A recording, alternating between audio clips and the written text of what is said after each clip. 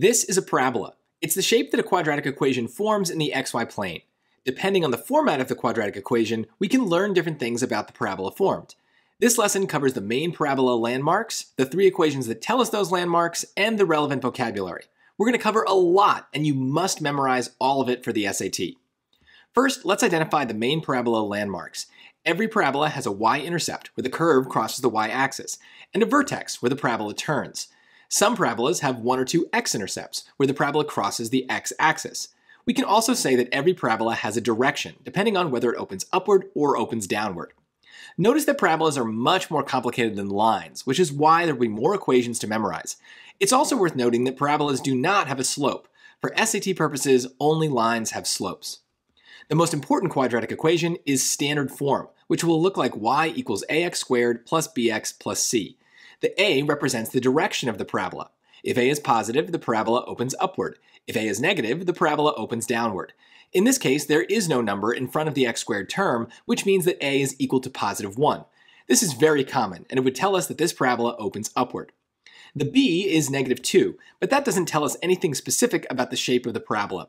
On the other hand, the c immediately tells us the y-intercept. We can see that the negative 8 in the equation matches the negative 8 y-intercept on the graph. You should think of standard form as the main version of a quadratic equation. We use the a, b, and c from standard form in lots of other formulas related to quadratics, like the axis of symmetry, discriminant, and quadratic formula. You are also probably familiar with factored form, which tells us the x-intercepts of the parabola. Each parenthesis term is a mini equation that we can set equal to zero and solve for x. In most cases, the x-intercept will simply be the opposite sign of the number in the parentheses.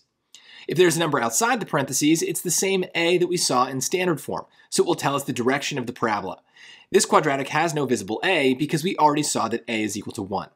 Finally, you need to memorize vertex form, which tells us the vertex. The SAT absolutely loves this type of equation, so it is almost guaranteed that you will see at least one vertex question on your test. Get comfortable with the overall formula, where y equals a times x minus h squared plus k.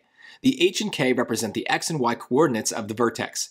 Notice that the x-coordinate is the opposite sign of the number in the parentheses. On the other hand, the y-coordinate is the same sign as the number at the end. This is a confusing aspect of vertex form that the SAT will try to trick you with. The a at the beginning of the parentheses is the same a that we've seen in the other versions of the equation, so it tells us the direction of the parabola. With all three versions, we have a very good idea of what this parabola will look like, but even with just one version of the quadratic equation, we would still be able to make a quick sketch. As always, no matter what type of equation we have, the x and y represent all of the points on the graph of the equation, so we can plug in any points for x and y and we should produce a valid result. Before we move on, I want to stress that the SAT often talks about these quadratic landmarks using other vocabulary. For example, if we have a story along with our equation, the y-intercept might be described as the starting point or initial value. The x-intercepts are sometimes called roots, zeros, or solutions, and the parentheses terms themselves are called factors. In this case, 4 is an x-intercept, a root, a zero, and a solution of the equation, and x minus 4 is a factor of the equation. The vertex is sometimes called the turning point, and depending on the direction of the parabola, is either the maximum or minimum. In this case, the vertex is a minimum because the parabola opens upwards. You might also hear that the x-coordinate of the vertex represents the axis of symmetry, which is the vertical line that cuts a parabola in equal halves. I'll talk more about that in a separate lesson on vertex. Since this is such an important topic, let's look at one more example. This time, I'll give you only standard form, and we'll make a rough sketch of the parabola using the equations. Right away, we would know that the parabola opens downward because the number in front of the x squared is negative 2. We also know that the y-intercept is negative 10. But this isn't enough information to get a clear idea of what the parabola looks like. It could have two x-intercepts and be pretty skinny, or it could have no x-intercepts and be very wide. Or the vertex could appear on the other side of the y-axis. This is why we usually need more than one form of a quadratic equation to understand what the parabola looks like. To find out, we could use algebra to factor the equation into factored form.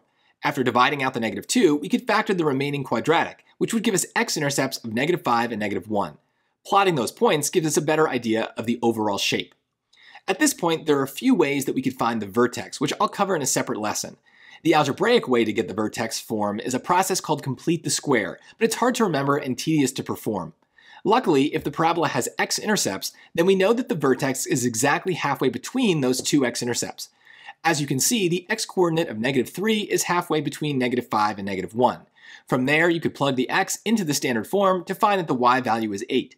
It is probably easier to find the vertex points first and then use those values for h and k to build the vertex equation.